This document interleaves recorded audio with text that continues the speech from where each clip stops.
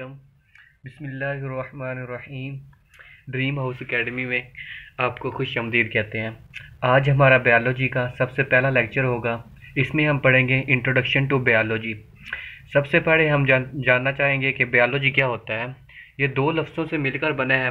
Bio और logy bio mean ज़िंदगी होता है और लॉजी मीन स्टडी होता है।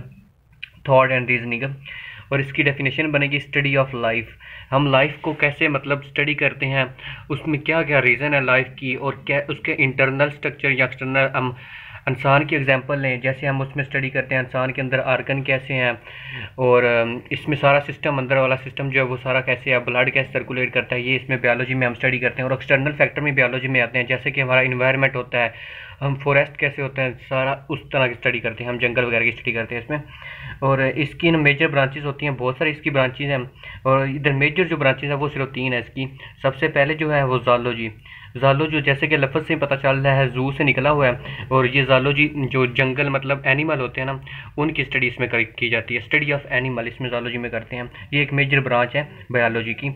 इसके बाद दूसरी जो ब्रांच है, वो बॉटनी है। बॉटनी में हम प्लांट्स की स्टडी करते हैं। प्लांट का टिशू वगैरह जो होते हैं, उसको स्टडी करते हैं। स्टडी ऑफ़ जो प्लांट होता है, उसको हम बाटनी कहते हैं। और उसके बाद हमारा आती है तीसरी ब्रांच जो है, और लास्ट ब्रांच जो है, वो माइक्रोबायोलॉजी है। माइक्रोमीन होता है छोटा, जो छोटे ऑर्गेनिज्म होते हैं, उनको हम स्टडी करते हैं इसमें। जैसे वायरस हो गया और इस तरह के जो छोटे और होते हैं, उसको स्टडी किया जाता है बस। अलैक्म बिसमीम ड्रीम हाउस एकेडमी में आपको खुश आमदीद कहते हैं। आज हमारा बायोलॉजी का सबसे पहला लेक्चर होगा। इसमें हम पढ़ेंगे इंट्रोडक्शन टू बायोलॉजी सबसे पहले हम जान, जानना चाहेंगे कि बायोलॉजी क्या होता है। ये दो लफ्ज़ों से मिलकर बना है। बायो और लॉजी बायो मीन ज़िंदगी होता है और लॉजी मीन स्टडी होता है।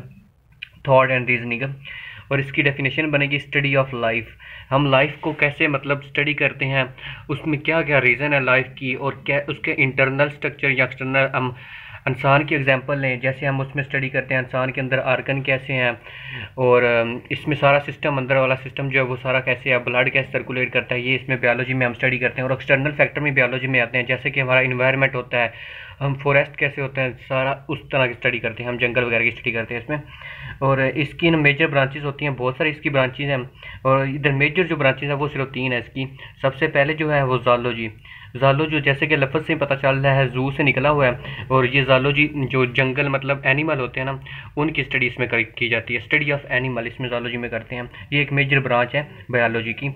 इसके बाद दूसरी जो ब्रांच है, वो बॉटनी है। बॉटनी में हम प्लांट्स की स्टडी करते हैं। प्लांट का टिशू वगैरह जो होते हैं उसको स्टडी करते हैं। स्टडी ऑफ़ जो प्लांट होता है, उसको हम बाटनी कहते हैं। और उसके बाद हमारा आती है तीसरी ब्रांच जो है, और लास्ट ब्रांच जो है, वो माइक्रोबायोलॉजी है। माइक्रोमीन होता है छोटा, जो छोटे ऑर्गेनिज्म होते हैं, उनको हम स्टडी करते हैं। इसमें जैसे वायरस हो गया और इस तरह के जो छोटे में और होते हैं, उसको स्टडी किया जाता है बस।